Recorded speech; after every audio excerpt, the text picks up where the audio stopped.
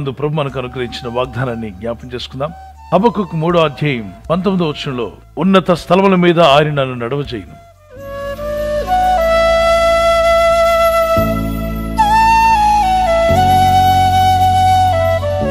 ఉన్నత స్థలాల మీద దేవుడు మిమ్మల్ని నడవ చేస్తా అన్నాడు ఆయన ఎందుకు భయభక్తి కలిగిన మీ కుటుంబాలు మీ జీవితం తప్పక దీవించబడుతుంది.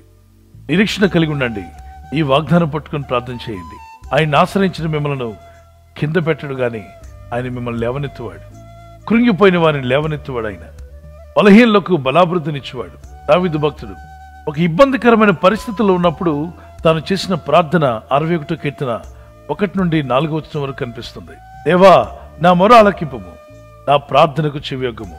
నా ప్రాణము తల్లడిలగా ఉదిగంతముల నుండి నీకు మొరపెట్టుచున్నాను. నేను ఎక్కలేనంత ఎత్తైన కొండపైకి నన్ను ఎక్కించుము దేవా అని ప్రార్థించాడు.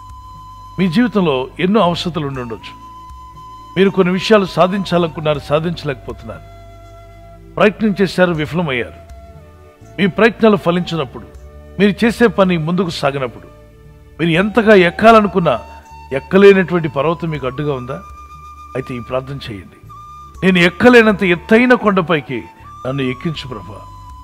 అంటే దీని అర్థం ఎవరెస్ట్ పర్వతం మీదకి ఎక్కించమని కాదు. మనం వింటూ ఉంటాం అనేక సార్లు అనేక మంది పర్వత శ్రేణులు ఎక్కుతూ ఉంటారు. కొంతమంది కొంత దూరం వెళ్ళి ఆగిపోతారు. వారిలో ప్రయాణం చేసిన వారిలో కొద్ది మంది మాత్రమే. వారు అనుకున్నట్టుగా ఎక్కలేనంత ఎత్తైన పర్వత శ్రేణి మీదకి ఎక్కి సాధించి జయం పొందుకొని వస్తారు. ఆ పర్వతాలు ఎక్కేటప్పుడు అనేక విధాలుగా ఇబ్బందులు వస్తూ ఉంటాయి. స్మూత్ రోడ్ ఉండదు. ఇబ్బందులు కష్టాలు అన్నీ ఉంటాయి. గచ్చ పొదలు ముళ్ళ పొదలు ఇంకా జారిపడే అవకాశాలు ఉండేటువంటి స్థలాలు. ఏమాత్రం బ్యాలెన్స్ తప్పినా పైనుండి కింద పడిపోయే అవకాశం ఉంది. అలాంటిదే ఆత్మీయ జీవితం కూడా. ఈ లోకంలో మనం ముందుకు సాగుతుండగా ఒక పర్వత శ్రేణి ఎక్కుచున్నట్టుగానే కనిపిస్తుంది. ఆత్మీయ జీవితంలో కూడా చాలా మంది బ్యాలెన్స్ నిలుపుకోలేక పడిపోతున్నారు చదువులు అయినా ఉద్యోగాల్లో అయినా అయినా బ్యాలెన్స్ నిలుపుకోవాలి. అనేక మంది ఆత్మీయ జీవితాన్ని కోల్పోయి ప్రార్థనను మానివేసి వాక్యానికి దూరమై ఆత్మీయత అనేది లేకుండా నిరీక్షణ లేని వారుగా జీవిస్తున్నారు.